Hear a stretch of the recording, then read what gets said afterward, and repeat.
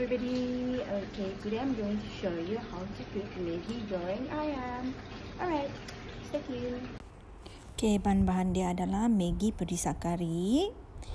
And then lepas tu bawang putih dengan bawang merah. And then lepas itu pak choy. Uh, sayur ni boleh guna apa-apa sayur yang kamu mau. And then lepas itu noodle tadi itu kita rebus dahulu. Okay, and then ayam. Ayam ni diperap dulu dan baru digoreng. Okay, lepas tu Kita okay, tumis uh, sayur, garlic, um, onion and also masukkan um, noodles ni. Masukkan perenca Maggi garing. Lepas tu masukkan ayam yang telah digoreng tadi.